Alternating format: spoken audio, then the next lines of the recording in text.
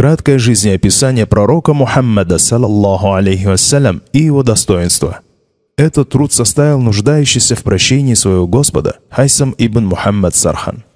С именем Аллаха Милостивого, Милосердного. Поистине, хвала Аллаху, которого мы восхваляем и которому мы обращаемся за помощью, и обращаемся мы к Аллаху за защитой от плохого, что есть в наших душах и от совершения нами плохих деяний.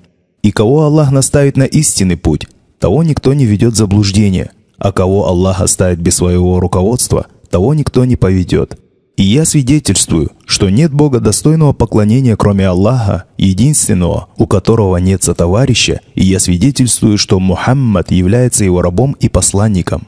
Аллах Всевышний говорит, «О те, которые уверовали, остерегайтесь наказания Аллаха достойным его остережением, и не умирайте никак иначе, кроме как будучи полностью покорными Ему». Сура семейства Имрана, аят 102. «О люди, бойтесь вашего Господа, который сотворил вас из одного человека, сотворил из него пару ему и расселил много мужчин и женщин, произошедших от них обоих. Бойтесь Аллаха, именем которого вы просите друг друга, и бойтесь разрывать родственные связи. Воистину, Аллах наблюдает за вами. Сура Женщины, аят 1.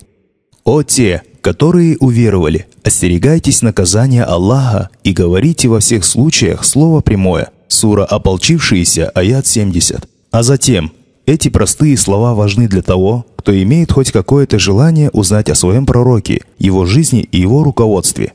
Ибн Аль-Каим, рахим Аллах, сказал, если счастье человека в этой жизни и вечное связано с руководством пророка, саллаллаху алейхи вассалям, то для любого, кто желает себе блага, спасения и счастья для своей души, является обязанностью знать о жизни и руководстве пророка, саллаллаху алейхи вассалям, и о его значимости настолько, чтобы этим он вышел из числа тех, кто не знает об этом, и вошел в число его последователей и сторонников. И люди в этом отношении бывают трех видов.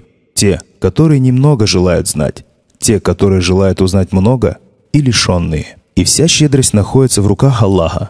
Он дарует это тому, кому пожелает, и Аллах является обладателем великой щедрости – я прошу Аллаха, чтобы Он сделал меня и вас из числа тех, кто любит пророка, саллаллаху алейхи вассалям, и повинуется ему в том, что он повелел и отстраняется от того, что он запретил или предостерег. О Аллах, благослови Мухаммада и семейство Мухаммада так же, как Ты благословил Ибрахима и семейство Ибрахима, и даруй благодать Мухаммаду и семейству Мухаммада, так же, как Ты даровал благодать Ибрахиму и семейство Ибрахима. Поистине, ты достохвальный, славный, и хвала Аллаху Господу миров.